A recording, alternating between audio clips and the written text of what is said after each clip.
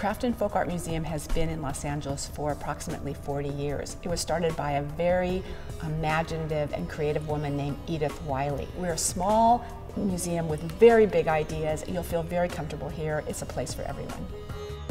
My name is Ann Weber and I make cardboard sculpture and I'm showing at the Craft and Folk Art Museum.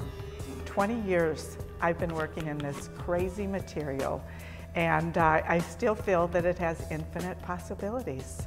Most of the artists that we showcase here make things with their hands and that is the primary goal of the museum is to promote craft and folk art which is not shown in any other museum here in Los Angeles. There's always really interesting exhibits here with you know different materials and ways that you, you know, never would have thought they'd use them from street bristles to, to bugs.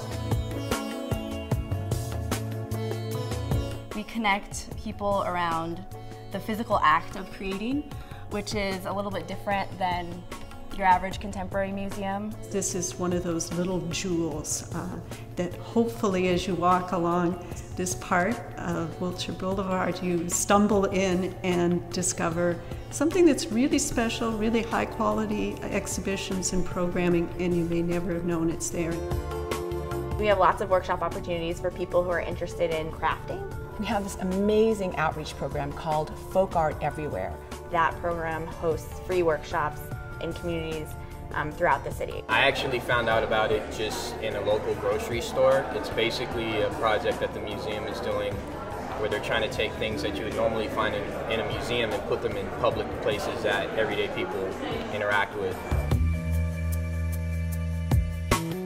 The museum has lots of family-friendly activities. We have a workshop called Craft Lab, which is on the second Saturday of every month. Families can come together and make things related to what they see in the exhibition. I love that it's small and it's very intimate, but it does have very thoughtful and thought-provoking exhibitions. I've been a part of the Craft and Folk Art Museum for well over 15 years. We're going out to the wide area of LA County and bringing small vignettes of art, material, artists, and trying to say who is folk, what is folk, and aren't we all part of the same fabric? There's a really beautiful little gift shop downstairs with art and craft from all over the world.